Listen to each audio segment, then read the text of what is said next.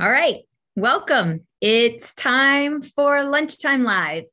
And I am really excited about the guest that we have with us today. So, as you're getting on, I'm going to save it for a minute. I mean, you probably know because if you follow me on Instagram, I um, posted it yesterday. But just in case you don't know, uh, let me know who's watching, where are you watching from, and I don't know, What'd you have for lunch?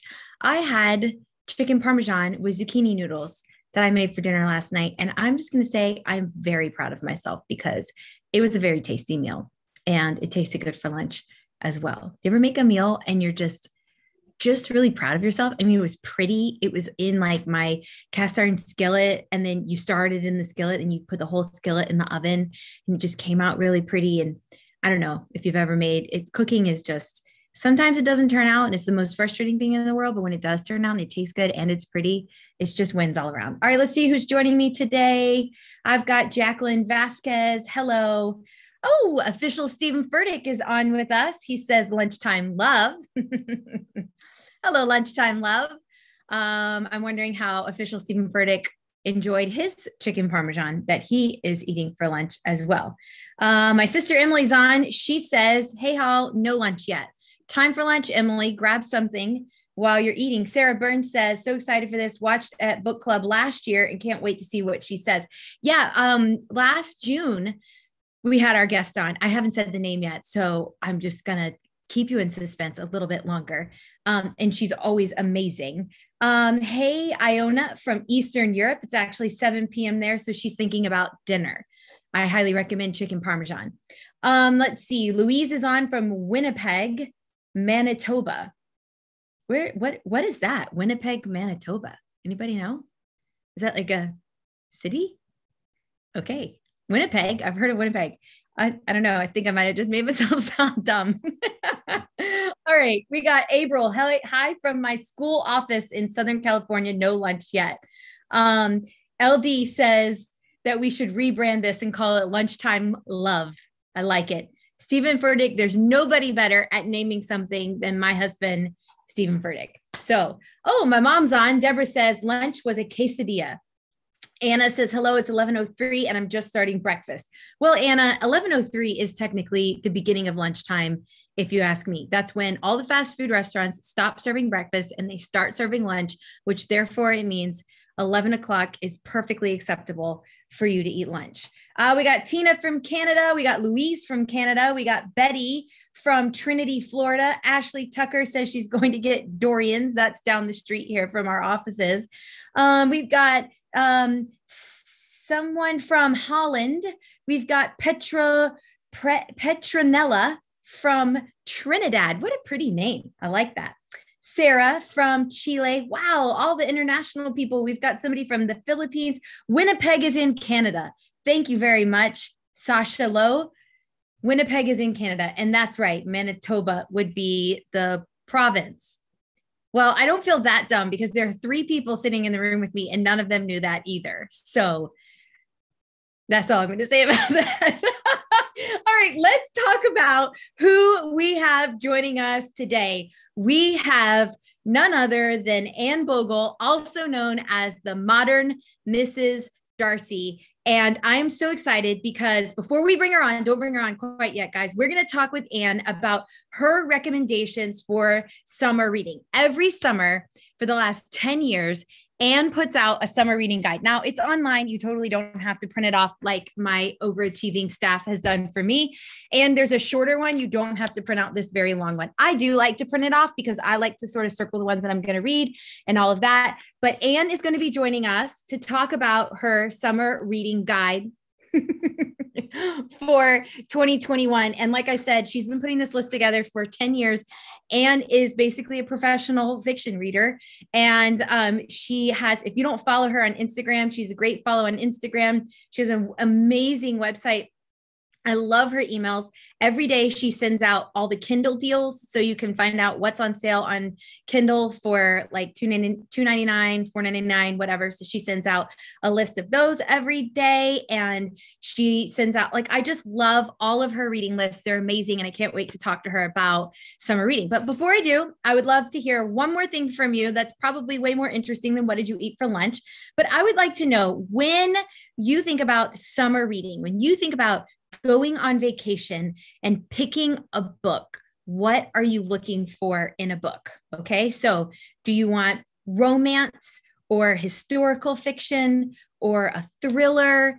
Some people like self help, which to me is not very relaxing to think about how I need to do better about something, but some people really like that. Um, we've got memoirs. we I mean, what is it that you like to read when you are going on vacation. Um, and then the other question that I want to know as you are typing your little comments in um, how do you like to read? So, do you like a book on the beach? Do you like um, an audiobook? I'm going to tell you what I like. I love an audiobook and a puzzle. To me, that is vacation. That I, I, might have just made myself sound like the most boring person in the whole world, but to me, an audiobook and a puzzle is one of the most amazing things. It's like relaxing it's challenging you're you're doing a puzzle and you're you're like accomplishing something important but you're also hearing a story going on in your head. And so when my family goes on vacation uh, a lot of times I love it when there's like a, um, a great room, you know, where like the kitchen and the um, the living room are sort of together.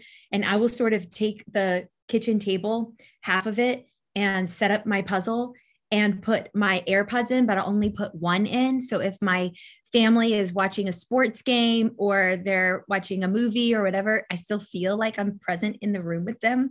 But really, I'm listening to a book and I'm doing my puzzle. Okay, let's see. What are you guys saying? Um, Elise says she all she wants is just a great story. Elizabeth says, Audiobooks are fantastic. Patty says she likes to read on the beach. Anna says, I'll have to try that. I'm telling you.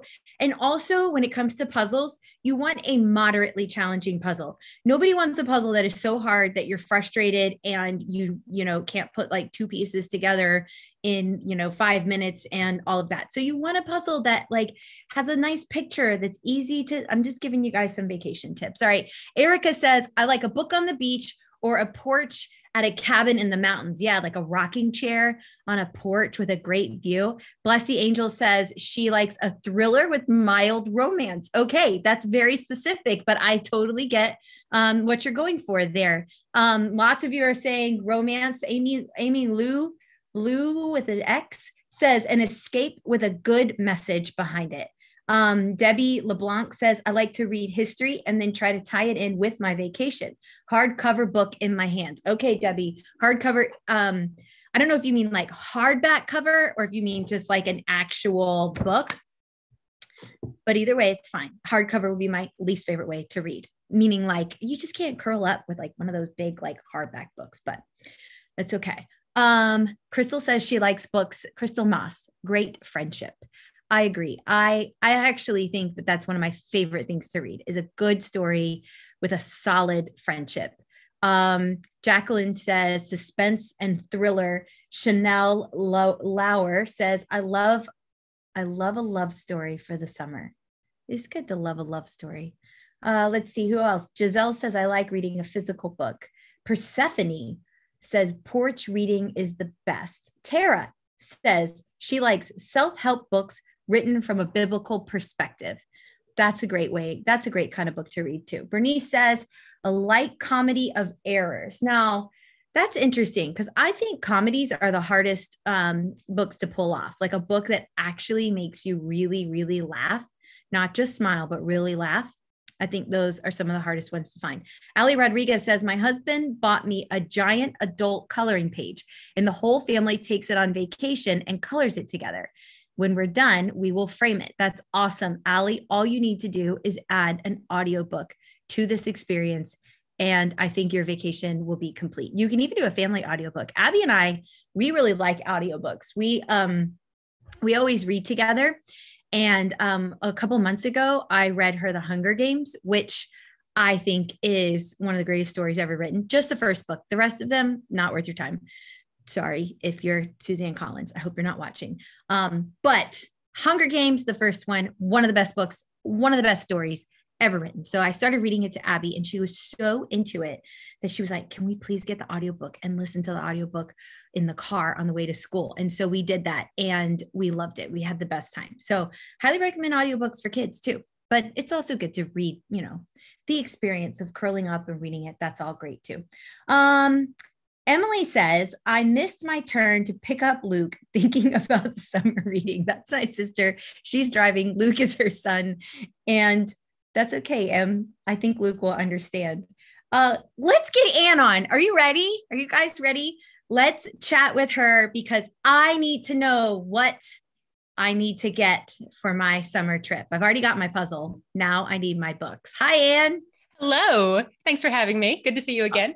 Good to see you too. Thank you for being on. I'm so excited. I don't know if you know this, but I you released this um, last week for some of your followers. And then this past month, Monday, and today's Wednesday, I have not looked at it yet because I really, I, I've have, I've held myself back because I really wanted to be excited and, and get you to reveal it to me. So we get to do it live.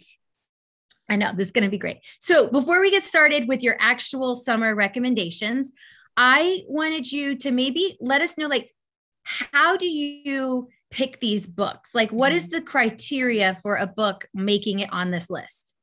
Oh, well, this is fun. Y'all, I talk about books a lot these days on a podcast called What Should I Read Next, where I love it. This relates. Every week, a reader tells me three books they love, one book they don't, and what they've been reading lately. And I recommend three books they should read next. That's the main way I talk about books, which means I'm always recommending based on other people's taste. And the summer reading guide is where I get to share books that I love. And that doesn't necessarily mean you will love them. So, what I try to do in the guide is describe this is what the reading experience could be like for you. And then you can decide do I want to have that experience or do I want to mm-hmm. keep moving? But first of all, I want it to be just a book that I love and can unenthusiast, un, definitely enthusiastically, enthusi, I can't say words that I can say, I love this wholeheartedly, no caveats. Okay and then try to tell you what you need to know to decide, I think I'll love that too. Or isn't it interesting that people love books like that? I'm going to keep on moving. Does the book have to be a new book? We've gone back and forth over the so for the past four or five years, there have been new books in the summer reading guide. The oldest one in this year's guide was published last October, and everything else was published in 2021. But we did something fun this year. We included backlist recommendations. There's two for every title, so that if you want books that have a shorter wait list at the library, or many readers, including myself, really like to maintain a balance of new releases versus older stuff that's 5, 10, 50 years old. So I wanted to include those as well.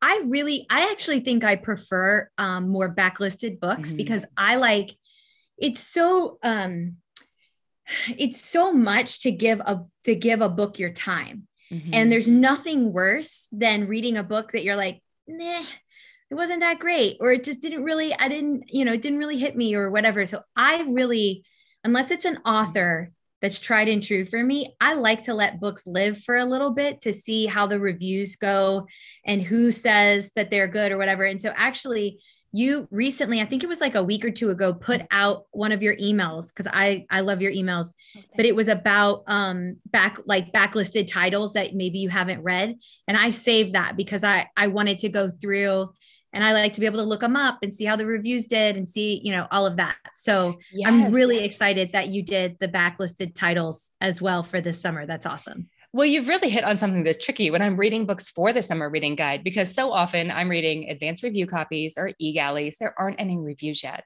So I don't have other information to go on. I just have to read it and see how it goes.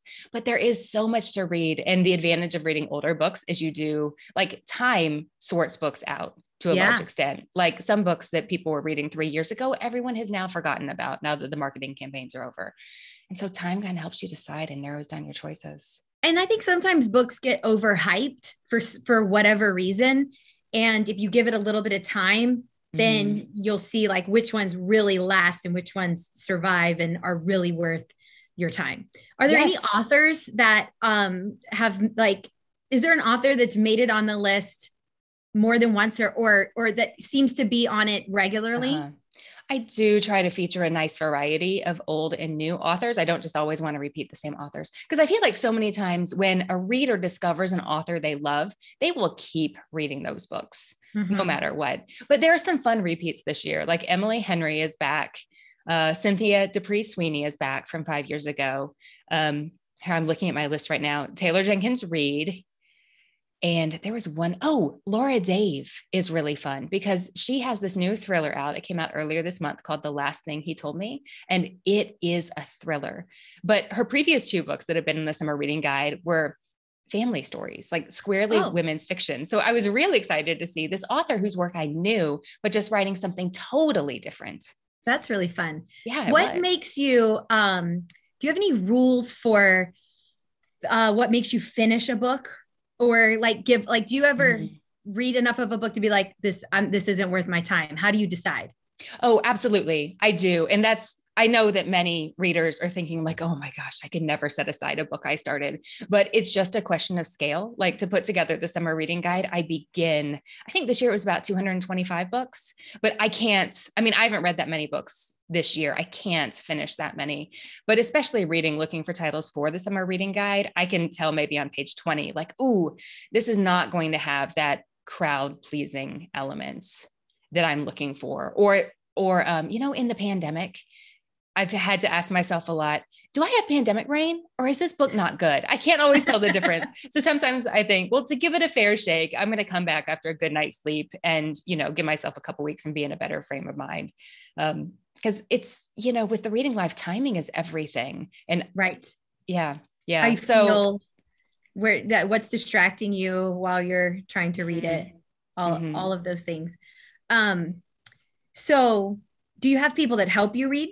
This or you've read every book on this list. Yes every book on this list but not every one that i started to uh-huh. begin vetting. And i just want to say also there's so many great books coming out this summer. So many great books came out between last october when our first summer reading guide book was published and now. So this is definitely not exhaustive right. but it is thorough, I hope. Um, I get great recommendations from the people on my team, from booksellers I know. It's great to get recommendations. If you have a bookseller you trust, whether that's local to you or on Instagram, they are reading all the time because it's their job and can right. really give personal recommendations and can speak to books that don't have a ton of reviews yet because they've read it. So I get recommendations as to what to read, but but I do all the reading for the guide at the end of the day.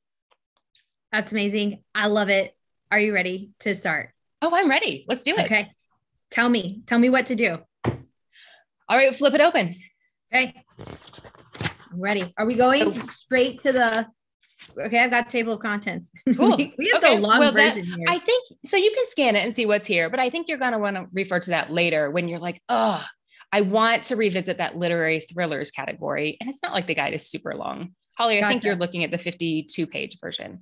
So you'd be able to find it without too much digging, but you could consult the table of contents and know immediately to go to page 26 and then you're awesome. set.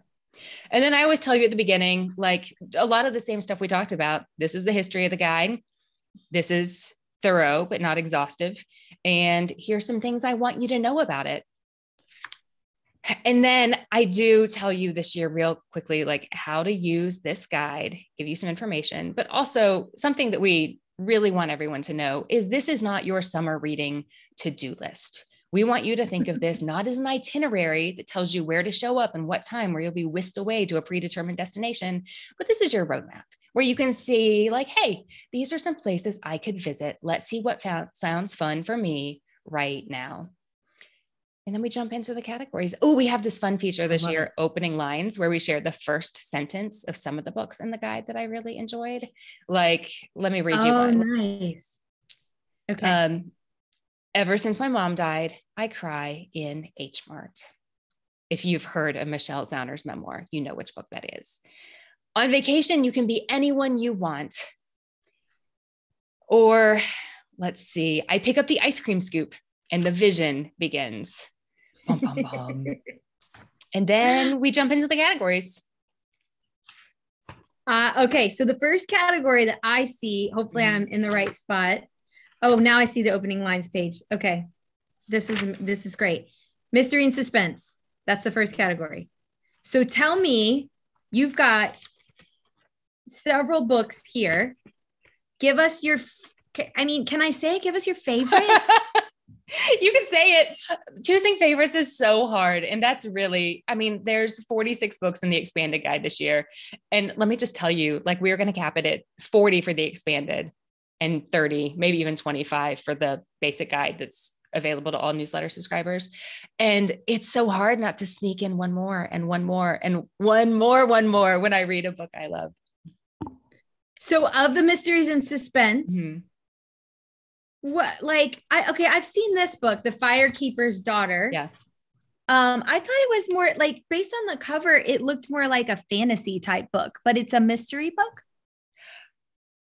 Yeah, it's a yes. So there's a couple. This is a YA pick, and actually, whatever this means to you, it was a Reese Witherspoon YA book club selection. But this book is a lot of things. It manages to do several things well at the same time. It's got a thrilling crime plot. It's got a fake relationship. So I know a reader was looking for like a thriller with a little bit of romance. This yes. could be for you. But okay. it's also a really thoughtful exploration of identity and belonging because our protagonist is this 18 year old high schooler. Um, who lives in a Native American community on Michigan's Upper Peninsula. And she is not a full tribal member because she's only um, half Anishinaabe. And she's she's at the age where she's trying to figure out who she is and what her place in the world is. And on top of that, her best friend gets shot in front of her. In the very opening pages, no spoiler there, she gets recruited to become an undercover informant for the authorities. And her um, her handler is a really hot 20 young 20 something posing as a high school hockey star. It's just it's fun. There's a lot going on in that book, and it's hard to do that and have it not feel jumbled as an author. Mm-hmm. So when but she pulls it off, it's really satisfying. Yeah. So what? Um, I, I've always wondered this. Mm-hmm. What makes a YA book? That's a great question, and we were just talking with author Stacey Lee, who wrote The Downstairs Girl, um, last night in book club, and so many people in our community who'd read it were like, "Wait a second, this is YA because they just didn't realize. Sometimes you really know, but sometimes it's less clear. Right. I mean, oftentimes it's as simple as the publisher. Like if Simon and Schuster Teen is the publisher of a book, then it's automatically going to get shelved with YA. I mean, it's often a um, a young protagonist, but not necessarily. You know, like yeah. Emma Donoghue,'s The Room, like that's about a five year old. Is not a book for kids. That's a YA book. No, no, that's what I'm saying. Like just oh. because oh. a book has a young protagonist does not gotcha. mean that it's a YA book. But really, I think the American Library Association says it's a book that is written to appeal to teen readers primarily, written for them to enjoy um, from a teen's perspective. Gotcha. But it's, seen- I mean, it's, it's dicey. Like sometimes a tree grows in Brooklyn gets categorized as YA, or the um, Dodie Smith book, I Capture the Castle. Um, and sometimes you just can't tell. Like readers are flabbergasted sometimes to discover books like The Downstairs Girl or Lovely War by Julie Berry or YA. Yeah, I mean, occasionally I typically I don't read YA. I don't mm-hmm. know why. It seems like I I think in my mind they're shorter, but they're not always. Mm-hmm. Um, I don't know, but I I actually don't like the category because if I see that on a book, like like mm-hmm. the way you just described the firekeeper's daughter, I'm like, oh, I want to read that. But because I've seen it in the YA section of Target, I know I wouldn't get it because I thought it was for teenagers. I know. And that's something that, I mean, it's useful to categorize books, but you can probably see that something we do in the summer reading guide every year is not do straight genre descriptions. I don't mm-hmm. mind doing it so much with mystery and suspense because not a lot of readers will be like, oh, I don't want to read a mystery. You know, they won't, right. they won't self exclude based on that description. But we try not to do categories that are called things like romance novels or YA books or middle grade right. because so many readers or fantasy, like so many readers will be like, eh, I don't read that. And they'll keep going. Hmm. I definitely would not read a book that was categorized as fantasy. But then there are some that I like. So mm-hmm. you have to be open. And it's just okay. it's hard. It's hard. And one of my goals is to really help you explore books. Well, how about this? Is to help you not miss out on books just because they've been marketed in such a way or covered in such a way that you think they're not for you. Yeah. Because it's so great to have that feeling of like, oh, I almost didn't read this, but I am so glad I did. Like, this is one of my best of the year titles. I love that surprise and delight combination that makes for my very best reading experiences. So, I see on here you have The Guide by Peter Heller. Um, but this book doesn't come out till August. Mm-hmm. So this is like late summer reading. yes. Here's what we try to do. So when you get the guide in your hands, most readers get it right about now in very early June. I really want you to have a variety of options, like titles that you can go to the library today, that they'll have them on the shelves, and they probably don't have a massive queue for them. I want you to be able to walk in your local bookstore or Barnes and Noble and see a lot of these books on the new release tables. And then it's always nice to have something to look forward to. Yeah. So I want to give you titles you can anticipate and look forward to that aren't coming out till later this summer. And can I tell you how confusing it was to have the book, the guide in the guide? Because that's funny. It wasn't always clear if we were talking about the Peter Heller novel or if we were talking about the summer reading guide. And that that led to some confusion. And I read his his book, The River, mm-hmm. was on your summer reading guide last year, and I read it. Mm-hmm. Um, and so, how is this like the same characters from that from the river? It is. Well, a little bit. So I say in the guide, I will always tell you if you need to read previous books first or if it really doesn't matter. But this is a follow up to The River. So one of the two protagonists from The River is, takes center stage here. So there's a spoiler embedded. Like if you haven't read The River yet, you're going to gather from the pages of the guide what happened. So make whatever decision you want about whether you mm-hmm. want to read The River first, but know that's happening. But it's the same character and he gets into a big mess and in the middle of a global pandemic where the character is having his temperature checked as he walks into the bar and he's fishing a mask out of his pocket to put on at the fancy Colorado resort where he's staying. That was really fun to read on this level or uh, right now because I right. haven't seen any authors write about. I mean, it's not a named pandemic, but it totally reads right. as COVID to me. And that was really, can I say fun to read, uh-huh. just to see how he handled it. Yeah. Imagine things about three years out from the beginning of whatever, whatever the pandemic was. But I was totally picturing the events unfolding in, I guess, 2023, three years after COVID began. Okay. That that that sounds really interesting. I um I in, I enjoyed that book, The River. Mm-hmm. Um, it was a lot of it was a lot of like gear. you know, like it was a little too much like camping gear for me. like the way mm-hmm. he would go in detail describing the fishing rod yeah. and the gun and like, you know, whatever. It was just a, it was a little, it, but I think it's a, was a great book. Like I recommended it to a friend of mine um, who he was like an Eagle Scout and he loves a good fiction book. And I was like, you'll like that book because you'll understand way more of that stuff than I did. Um, this one is faster paced. Like it starts okay. with these meditative musings on fly fishing on the river. And I have never fished a day in my life. I still enjoyed the language. But um, this is also, he, we just talked about Laura Dave writing a thriller for the first time when she'd written other works before. And Peter Heller's never written a thriller before either, but that is definitely the direction this one goes in. And his partner in uh, Fighting Crime actually is a country music superstar who grew up in East Tennessee, who loves fly fishing. That's important. That's what brings them together at this resort. And the details there were just really fun. A surprising protagonist. That's awesome. I love it. Okay. Somebody's asking, where can we get this list? So maybe we should back up. Maybe I didn't explain mm-hmm. that very well. If I'm watching and I want this list, eh, mm-hmm. how do I get it? You can just go to modernmrsdarcy.com slash SRG. That's for summer reading guide to help you remember it. And you can just pop your email into that box and you'll get it in your inbox. It will come like immediately. It'll cut, like give it two minutes, but yes, it'll come immediately. Check your spam if you don't see it right away. We have um, troubleshooting tips and graphics and some more information about how to use it, how to print it on that page. But I know if you want the guide, the sign up box is right at the top. Gotcha. All right. So um, I'm looking through, I don't know if my thing was like printed in the right order. But okay, travel back in time books. That's the Mhm. next category that's in my guide. Tell me,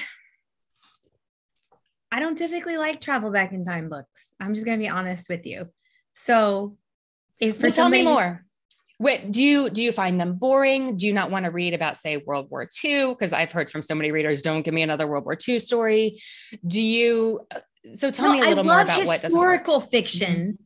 I love historical fiction. Mhm. I just don't necessarily love time travel because it becomes a little bit too like Mhm. fantasy, especially when it goes back and forth. But I don't mind a side by side historical fiction where there's like a present day story and a past story. Mm, oh, But those are something fun. about time travel, just I don't know. Well, I I, think think time travel books, like there's one in here. It's Natasha Pulley's The Kingdom, but that's the only time travel book that has a sciencey fiction element. Okay. Um, I mean, they can be real brain benders when you're trying to figure out, wait, what just changed when you went through the portal and whose lives Right. just got erased and what does it mean and what year is it again? Like the kingdoms is time travel, but it's also this alternate history where she's imagining what would have happened if Napoleon had won the Battle of Trafalgar. And it had me Googling so many things to go like, how much of this is real and how much of this is fake? And shoot, is it 1898 or 1805? And I mean, they can make your head hurt. And sometimes it's a delightful kind of hurt. And sometimes it's like, oh, hold on. well, and I do, I mostly do audiobooks. Mhm. And so when a book changes time periods, Mhm. it if you don't catch it right at the Mhm. beginning of the chapter, sometimes it can be really confusing. So maybe that's part of it too. I hear that. Um, let me see. So, Sparks Like Stars by Nadia Hashimi, that has the two timelines. One's contemporary and one is back in 1978 um, during a real historical Afghan coup. But the one that I really think I like for you, based on what you said and based on your love of audiobooks, is Hour of the Witch by Chris Bohjalian. I know some Actually, of you as I'm looking at this list, Yeah. that's the one that really popped popped for me. I was like, I'm so glad. Well, something about what you said made me think, oh, this has good narrative drive. It's not confusing because you always stay in 1662 Boston. Um, this could be another fun one for the reader who loves suspense plus a little bit of romance. But I have to tell you, I've never read him. I've intended to. I really didn't like the sound of 1662 Boston. I didn't care. I just did not care, but I decided to give it a try anyway. And very quickly, I was like, oh, this is fascinating. I have to find out what happens next. But the cast on this audiobook is phenomenal. And this is such, I mean, you may be surprised to hear this because it's a story about the Puritans, but Right. it's really the story of a like fierce female protagonist who is in a pile of trouble against these horrible men who want to um, prevent her divorce by accusing her of witchcraft, basically. Um, but it's like this psychological thriller where he just ratchets the tension up higher and higher and higher and higher. And oh, I just flew through it. But on audio, this book is going to be exceptional. Okay. Tell me about this one. Um, what is this? The final revival of Opal and Nev, because I'm as I'm acclimating to how you laid the guide out, I see how you're I I actually really love this. How you go. So this book is for fans of Taylor Jenkins Reid's Daisy Jones and the Six, which my husband and I listened to on audiobook together and absolutely loved. In fact, Mhm. look, I don't know if you can see this. I have a Fleetwood Mac. I have my husband's Fleetwood Mac sweatshirt on today. And that book is like a total nod to Fleetwood Mac. So, so tell me about this book because that sounds really good. Okay, so it's told in the same style of Daisy Jones and the Six, but the substance of the story is totally different. But this is another one of those rockumentaries where it's told in the style of an oral history. This is also, as I'm sure you can guess, really good on audio and it has some of my favorite audiobook narrators. Like, is anybody else here for Bahni Turpin every time? Oh yeah. Um, she's one of the main voices here. But this is about the um, completely fictional, because I'm sure so many people have Googled so much, um, legendary duo, duo of American punk singer Opal Jewel and British musician Nev Charles. So she is um, iconoclastic. She shaves her head early in the book. She gets big bangle earrings. Um, she wears really bright colors. She looks unlike anyone that many music fans have ever seen on stage.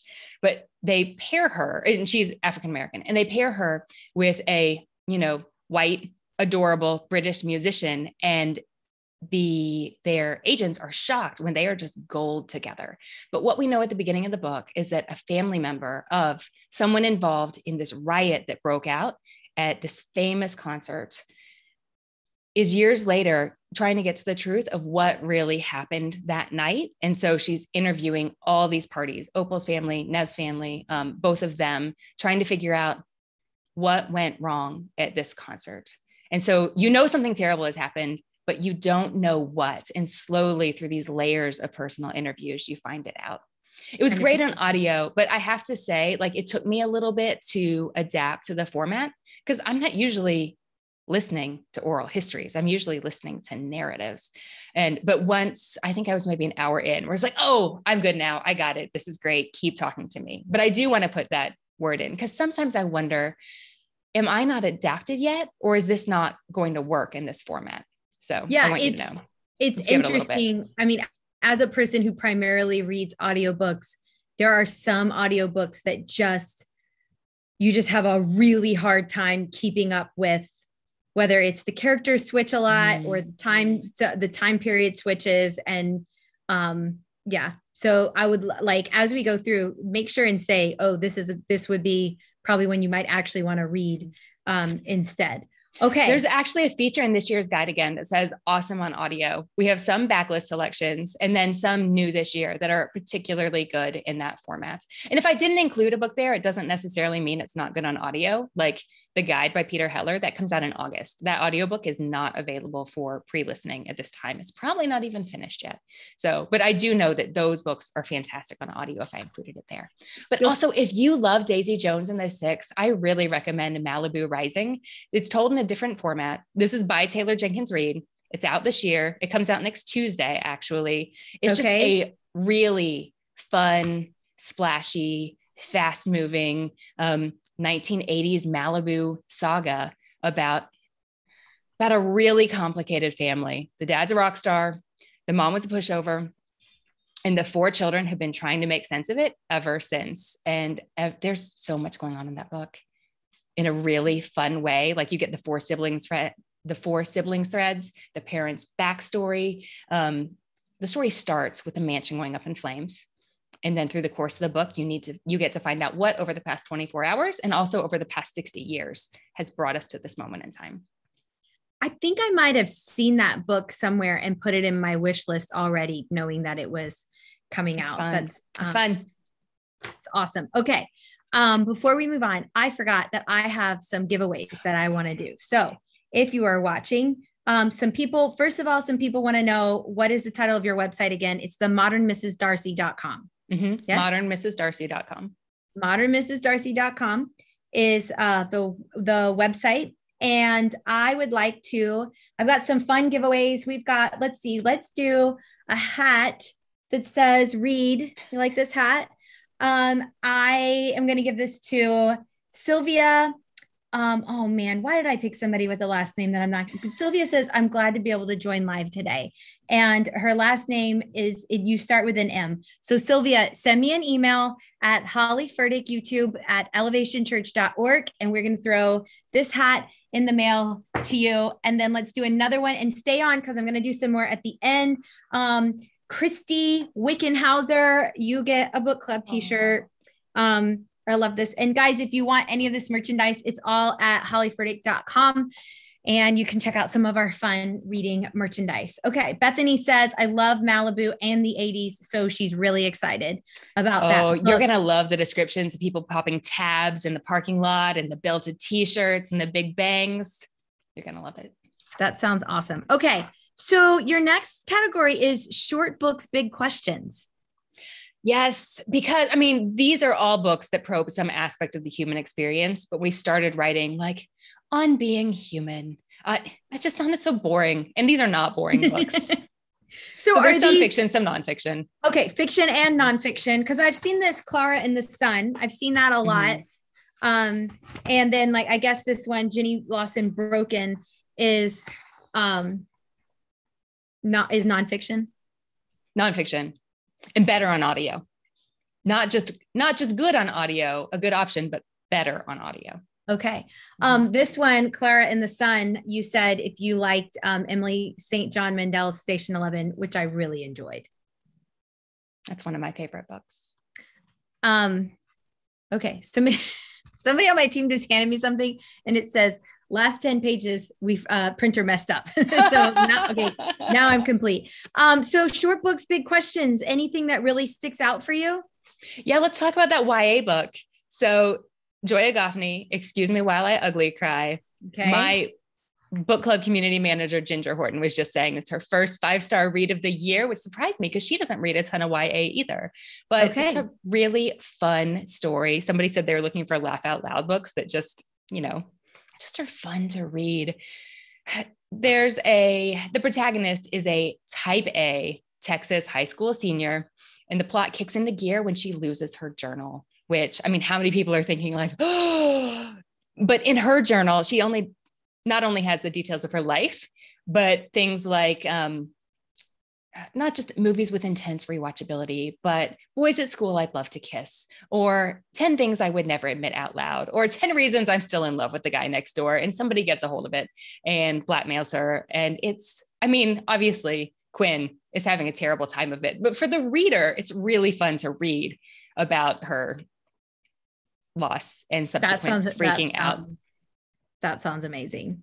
And there's okay. a road trip. I know some people really like a road trip book in the summertime. Okay. Mm-hmm. Hmm. I never thought about that before. Uh, I'll tell you something that I think is interesting. And I was going to say this when we were talking about the river. I don't typically like sequels. I don't know why, but there's just something about a sequel that just I don't I they're always disappointing to me even though mm. they're they're not they're not they're they're usually well done i just i don't know i'm always like disappointed so i, I just don't typically read sequels are there any sequels on on your list let me think generally i try to put in books that stand on their right own. that you wouldn't have to read yeah i mean there are a couple books that are in like the same universe like mm-hmm. Jasmine Guillory writes books that totally stand alone, but some of the characters from one book will pop they up pop in the in. next. Yeah. yeah. I don't necessarily so, mind books like that. And that's true of the Chanel Cleeton too was in here, the most beautiful girl in Cuba. Like there's a character that you've yes. met before. I've read a but couple. It's not a sequel. Don't need to read them in order. Um, I love a good series if I'm already hooked on on it, but I find it really intimidating to know, like, okay, there's 17 books in this series now.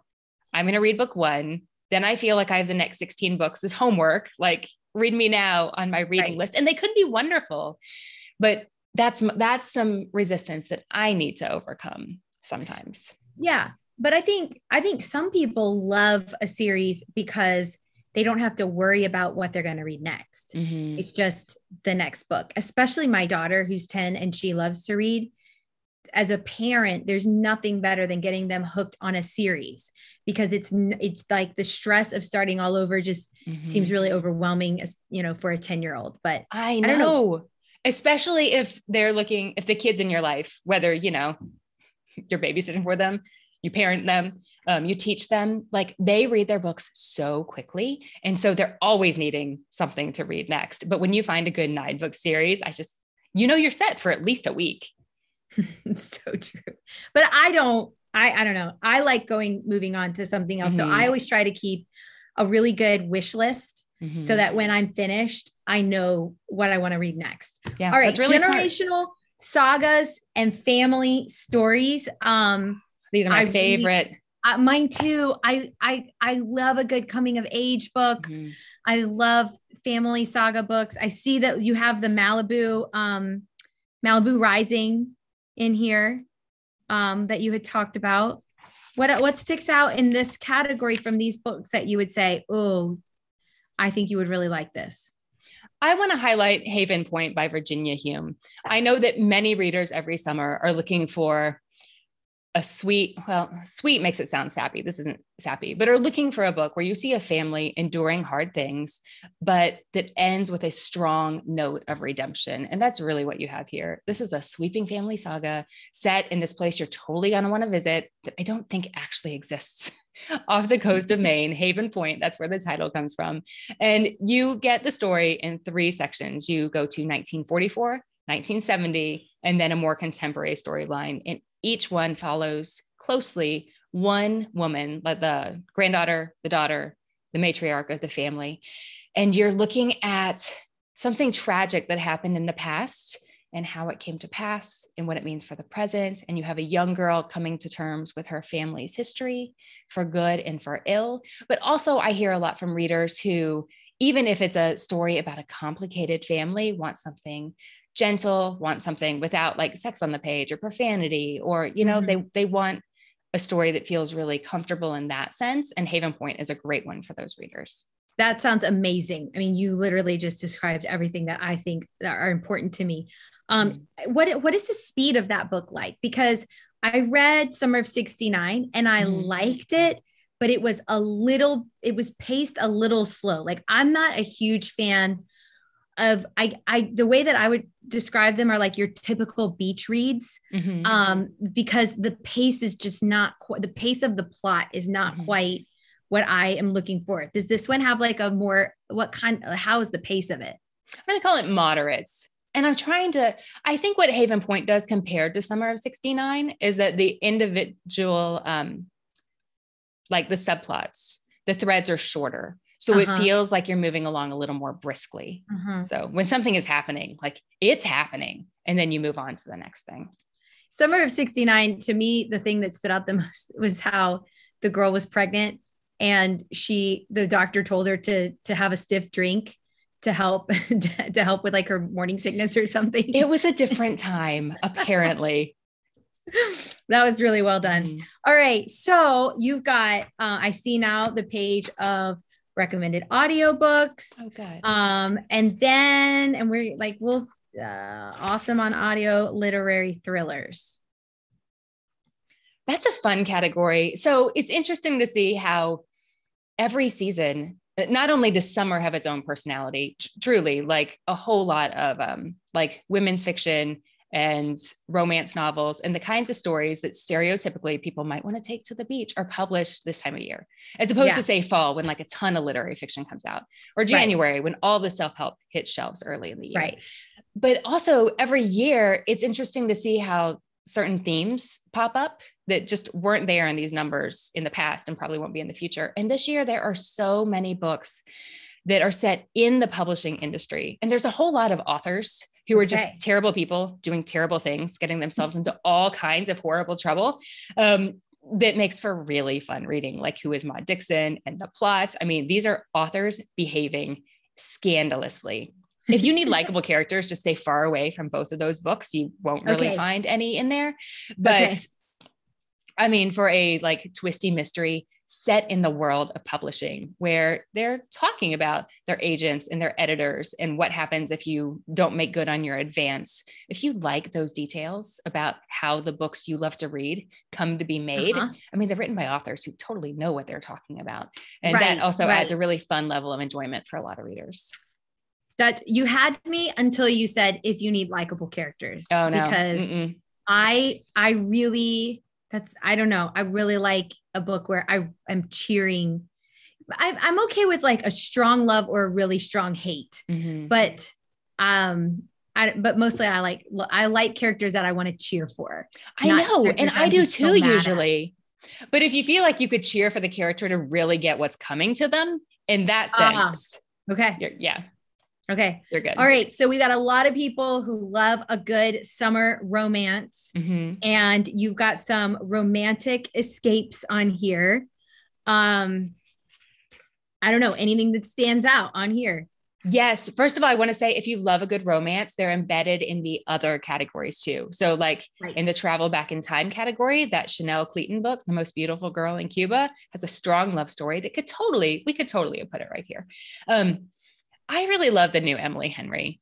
I loved Beach Read last year, which was one of those literary books. I mean, that's about two novelists on deadline.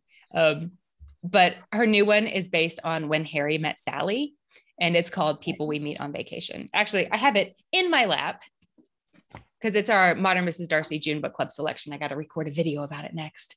But okay. it's just so you love it that much. Oh, it's really fun. And it's all, you know, if you love a book, it's always fun to talk to the author about it. I know you know that, Holly. So we're talking to her later in the month and it's just going to be fun. But if you like, um, this is a friends to lovers story, lots of witty banter. And also, I missed out on my vacations last year because of the pandemic. And if you want right. to do some vicarious globetrotting, this book is perfect for that. Okay. Then you got even more romantic escapes. What is that? Why? Why? Oh, I'll tell you. So what we do is we publish a 30 i think it's a 30 page guide. Oh i have the expanded guide? Yes you have the expanded guide. So there okay. are three categories in our expanded edition and we do that for our it's our way of saying thank you to the people who are members of our communities. So whether that's the modern mrs darcy book club or our what should i read next podcast patreon community. If you really want the expanded guide the easiest way to get it is just sign up for patreon and it says how to do that on the srg page. But yeah, i um I just totally forgot what I was going to say. Oh, how can people get the expanded guide? They go to the Modern easiest, Mrs. I mean, we'd love to have you in book club, but the cheapest and easiest way to get the expanded, just go to that modernmrsdarcy.com slash SRG page. And we tell you there how, how you can get okay. it.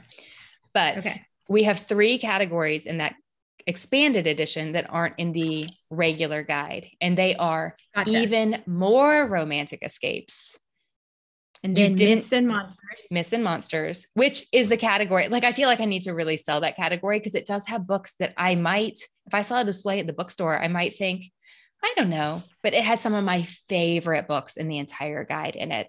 And then we have a category that's predominantly, but not entirely nonfiction called You Didn't Know You Wanted to Know, because I love those books where the author says, Come real close and let me tell you about teaching hawks to fly or let me tell you about jellyfish or about measuring the tallest trees in the world. And you didn't know that you cared about that topic. But then the author starts telling you about it, and you're like, oh, yes, this is the story I did not know I needed in my life. So but everybody funny, who knows me knows that I would like field notes from an unintentional birder. it's so it's so fun. It's so fun. Uh, that sounds uh, awesome. Okay, fun in times, but also thoughtful and contemplative. And it's funny how like she's talking about watching birds, but it's funny the places that can take you, like into your family history and into your relationships and into the existential crisis that she encounters at age 40 when she goes, What am I even doing with my life? You can go all those places through bird watching. But the reason so we have there's no go, go ahead, ahead, keep going.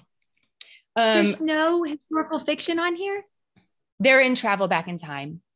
But the reason gotcha. it's not called historical fiction, well, one of the reasons is that some of those books that feel like historical fiction to me weren't really set long enough ago to count. Like there's this really great book by Ann Shin called The Last Exiles, and it reads like historical fiction. She's talking about um, North Korea under the Kim Jong il regime, and I, I feel like I'm reading about a prison camp 100 years ago, but that just happened in the 90s. Like I had to Google mm-hmm. all the facts and be like, good grief. Like this happened not just in my lifetime, but in my like almost adult lifetime. Adult life. And yeah. Yeah. Yeah. And it was, I love a story like that that makes me see like the history that is happening during my lifetime in just a totally different way. But it was fascinating. But it's not technically historical fiction, even though it feels like gotcha. it. I, I mean, so I also to- I love a story that makes me think or opens up my eyes to a situation going on in the world that I might not. Mm. I, I, always like to say there's nothing more that invokes empathy more mm. than a mm-hmm. good story mm. and something that opens up your eyes to understanding someone else's situation, someone else's you know economic status, someone else's mm-hmm. culture. Um, and so I really, that's one of the things I, I love to learn through reading fiction. Um, mm-hmm. I think it's it's like it's like um it's like putting vegetables in your kids' brownies. you know, I want to sing Mary um, Poppins right now, but I won't. so okay, at the end, see, I think I'm looking at the expanded, but do you you this this isn't part of the expanded where you can print off like all the book covers? We do one for each version. Okay. So that is in I, the guide. No I love what. that because that's what I'll mm-hmm. grab and take with me on vacation. Mm-hmm. And then I'll have it when I'm ready for another thing, I'll just have this little short list to kind of to kind of look at. So, yeah, and many people um, like put it on their phone to take to the library or the bookstore, so right. they're ready. Um, Okay, Anne. So I have never done this before. Um, as, you know, I have a book club, Mhm. and our book club. Um, uh, this is our. I think this is our third, going on our third summer. Mhm. And so um, I'm just going to tell you, we typically love, um, we meaning me because I pick the books, but I um, I love a story that is just a great story. Mhm. Um, so something with characters, at least one character that you really love that you're cheering for. Uh, I love stories about resilience. I love stories of um, really great friendships that Mhm. come together. So that being said, I and I want you to think about this. I'm going to do some giveaways so I can give you a chance to truly think about this. I am going on a limb. I have never done a book, picked a book club book that I've not read before. Oh. So oh, I'm the gonna pressure, on a Holly. limb and have you pick our July book. And the other thing that you need to keep in mind is Mhm. An author that would be that that would be willing to come on to my book club. For the most part, most authors are super easy to get. I Mhm. don't know why, but they I think they just they like talking about their their books. And um so as long as it's not like a really big author, Mhm. um then you know I should so then we have like I our my book club for June is June 8th. That's when I'm going to announce the Mhm. book. But if anybody on book club is watching this right now, they're going to get a secret because you're going to pick our book club book and then we're going to try and get the author before June 8th to to to commit to joining us on in July. Does that make sense? it does. Okay. So while you're thinking about one of the books from your book list for my book club, also not too terribly long, but I don't think any of these books are like like 500 pages or anything. Um, but if there are, don't don't give us that one because. but all right, I'm going to give some giveaways to some of the people who have been on with us for the whole time. Thank you guys for sticking on. Um, let's see. Okay, we've got Agathy um, who says she loves the recommendations. I'm reading books I wouldn't have, and I'm enjoying this so much. Okay, Agathy, you're gonna get look at this adorable little notebook. It's like a big, thick pad of paper. Um, it says flipping pages. So shoot me an email and we're going to send this to you. Bethany, she said, I had no idea that people like Anne exist. She's so passionate about helping us find good books. This is amazing. Okay, Bethany, you get a book club t shirt because hopefully you are going to join at least mine or Anne's book club after this. Uh, Bethany sent me an email. And let's see, Tilly Young, she said, I got to catch a true live instead of having to watch after it posted. Tilly, you get a hat. And you know what? I'm feeling really generous today. Um, Sarah Burns says, Yes, yes, yes. Books are the best for those things. I'm better from reading. Sarah, if you are still on, I am going to give you one of everything. You're going to get a hat, you're going to get a t shirt, you're going to get a pad. You're also going to get some stickers. You get the jackpot if you're still watching. Um, and so, Sarah, um, anybody whose name I called out, email me holly furtick youtube at elevationchurch.org we'll get your information and we will shoot these things in the mail to you and now anne is going to pick our book no pressure All right. I'm going to give you three. three Yeah. okay You got to pick, Holly. You got to pick. okay It's your club. But here, let me tell you what I'm thinking. So I would say Haven Point. It comes out, it might come out on June 8th. It's in the guide. You can look. okay But we already talked about that one multi generational family story, vicarious vacation to Maine, layers of female, especially relationships, but also love interest there. And really a redemption story at the end of the day. So I really like that for you. But I want to slide in two more so you can just think about following your interests and your readers. what did you call it again i'm writing down my titles haven what Haven Point. haven Point. And that's Okay. a debut from Virginia Hume. oh well she'll come on then I think so. debut think so. authors always come We've had some lovely interactions since the guide came out, and I've heard from her. Um, Okay. But I do like the one about the girl losing her journal. You mentioned that you don't read a ton of YA, so I think that could be fun. Excuse me while I ugly cry by okay Joya Goffney. okay And i don't do Well, a lot of me- comedies so that one might be good it's fun. That's like a, yeah. mhm. I mean, I feel like the term rom com is overused, but Yeah. it definitely has romantic elements and it has comedic em- uh, elements. So, really, what am I protesting about? It sounds like you have a rom com, right? But it's a little more. It's it's fun. It's fun, and I think it also. Um, you were talking about how books take you inside other people's experiences in a way that it's just Mm. so enjoyable to do with fiction, and I think that's a great one there too. And then I also really like well, one of my favorite books is Olympus, Texas. It's a modern day 300 page family saga set in small town Texas that has this fascinating layer of Greek mythology in it. It's a debut. It came out earlier this month. It's by Stacey Swann. It's a lot of fun. But if I had to pick, I did. So those are in order, actually, I think. Haven Point is the one that seems like Kismet for your audience. But excuse me while I ugly cry. That could be really fun and a little off the beaten path for you. True. And I imagine for your readers. Okay. Should I pick or should I wait until June 8th to pick? You're the should pick. boss. We said we were going to pick, didn't we? Okay. I am going to pick Haven Point because you, I mean, I was already going to read that book anyway. You sold me on it. Oh, I'm so glad.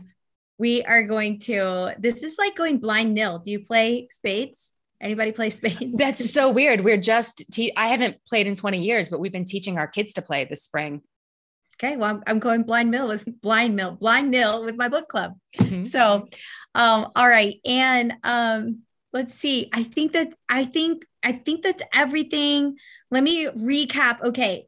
If you want to download Anne's list, go to modernmrsdarcy.com and not modernmrsdarcy.com slash SG SRG. SRG. if you go to modernmrsdarcy.com, we have it at the top of the It'll page. You'll find it just fine. Yeah. Um, and then um, okay, so if they want to follow you on Instagram, are you Anne Bogel or Modern Mrs. Darcy? I'm Anne Bogel. Anne with an E, B as in books. O G And E you- L. And you do book recommendations on your Instagram too. I do. And especially at What Should I Read Next? Uh, Oh, our yeah, Instagram account. podcast, there. What should I read Mhm. next? Which I wanted to um, tell you, I absolutely loved your interview with um, Kate DiCamillo.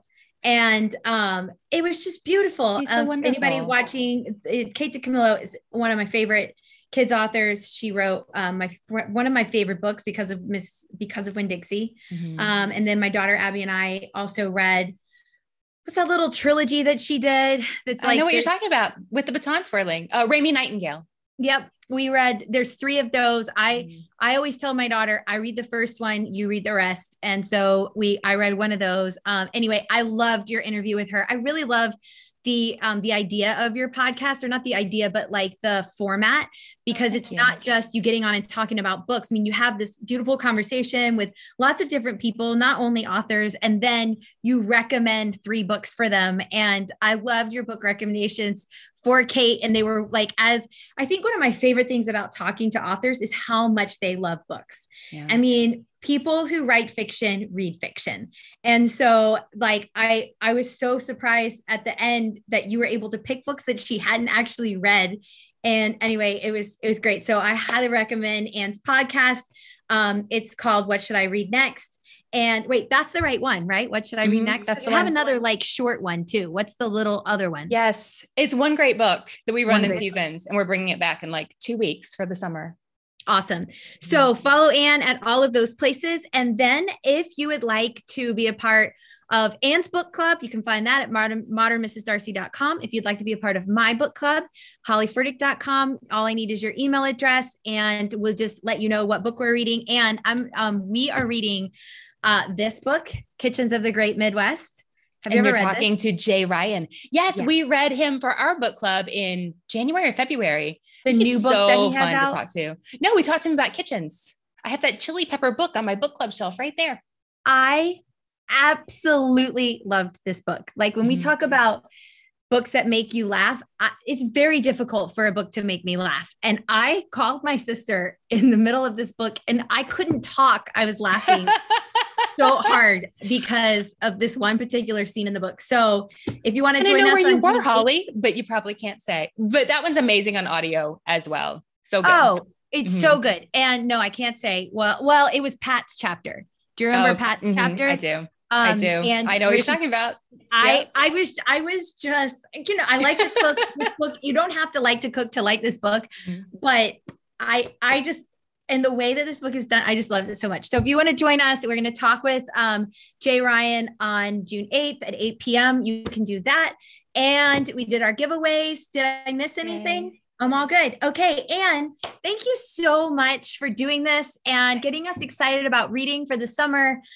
I'm I'm excited. I love it. It was my wait. pleasure. Thank you so much for having me. And thank you all for just being kind of people. It's fun to hang out and talk books with. It's it was really fun. Thank you. I'll see you next time. Bye.